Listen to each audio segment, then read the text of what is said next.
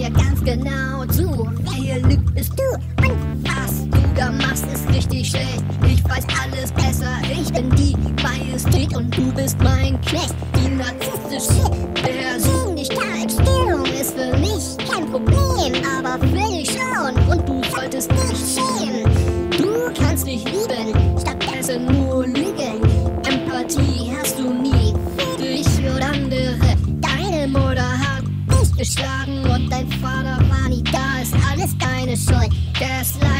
auch so ein Ding. Shit wird manipuliert oder anderen das Leben diktiert. Du bist der Schönste im ganzen Land. Willst du doch hören und alle Menschen mithören. Stattdessen wird deine Stellung andere stellen. Dein Selbstwertgefühl ist im Arsch, du Depp. Deshalb lachst du über andere und kannst nicht einmal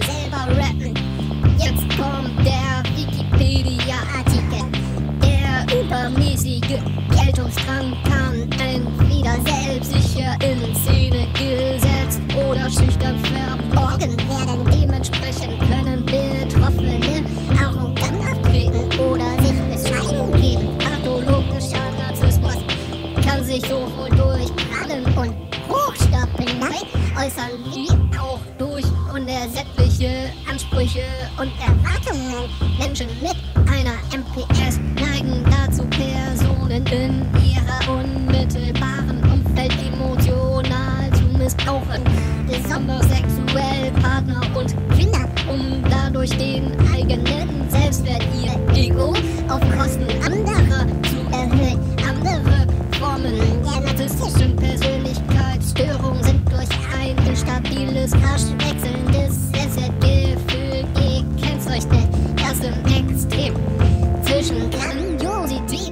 Und schamvoller Zerknirschung pendeln kann.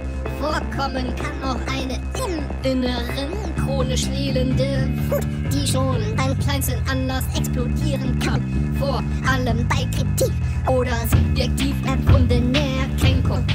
Eines der auffälligsten Symptome der Störung durch das Narzissten bei anderen immer wieder anerkennen, ist mangelndes Einfühlungsvermögen.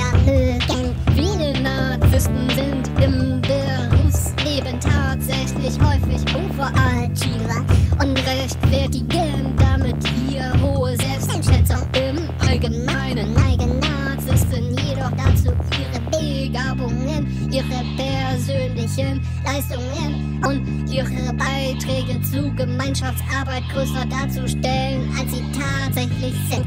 Gelegentlich geben sie Leistung anderer als ihre eigenen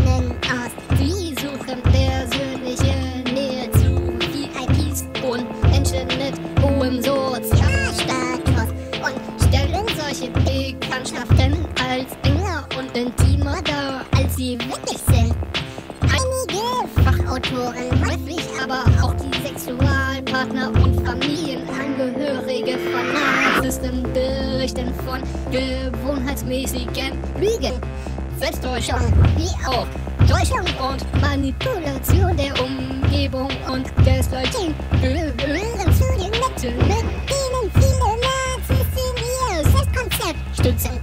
Die Reaktion auf Kritik besteht meistens in einer scharfen Attacke der Person, von der der Narzisst sich in Frage gestellt sieht.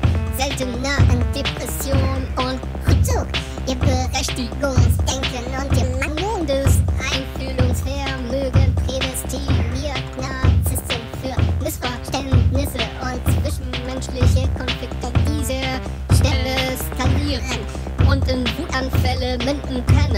Die Depression andererseits enthält starke Momente von narzisstischer Entrüstung und dem Gefühl, gedemütigt worden zu sein.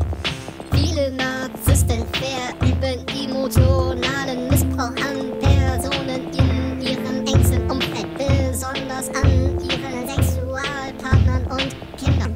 Die Betroffenen, die manchmal als Co-Narzissten charakterisiert werden können,